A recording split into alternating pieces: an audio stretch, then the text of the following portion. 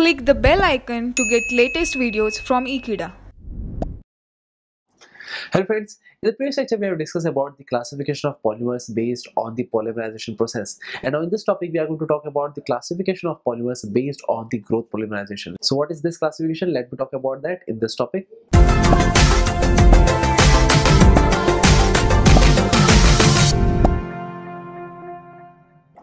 So friends, as we have discussed earlier, that is in the previous lecture, that is the classification of polymers based on the polymerization process. In that we have got to know that is addition polymers as well as condensation polymers. So based on that only I am going to talk about in this topic also. That is now we are going to talk about classification of polymers based on growth polymerization process. So therefore there are basically two steps or there are basically two kind of growth polymerization process. The first is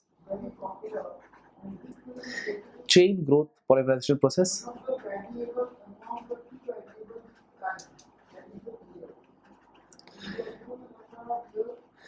and the next is step growth. Polymerization process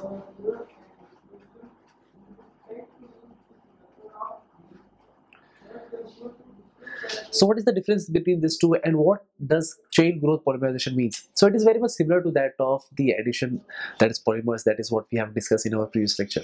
That is in this chain growth polymerization basically the monomers are nothing but they are alkenes or the derivatives of alkene. And whenever these two monomers they combine with each other obviously they will form an addition reaction due to addition reaction. Obviously they will form a product.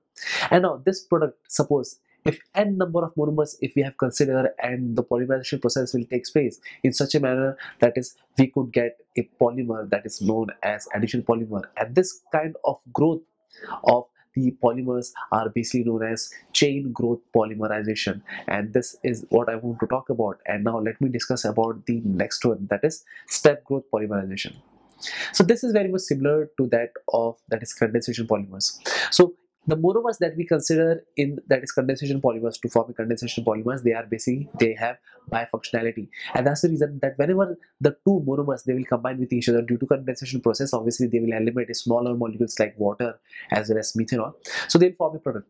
But now this product that has been formed even this product has a bifunctionality. And that's the reason that this kind of condensation process will go on. And that's the reason that it will go on continuous. And that's the reason the name of the is step growth polymerization. So the example that I have discussed earlier only that is for an example of a chain growth polymerization it is that is we could call it as Teflon we could call that is polyethylene. And suppose if we talk about step growth polymerization then it could be nylon 6 series it could be polyester. So this is an example of that is step growth polymerization and that's it. So thank you friends for watching this video. I hope you have understood this video very clearly and i hope i will see you next time. Till then don't forget to subscribe Ekeeda channel. Thank you so much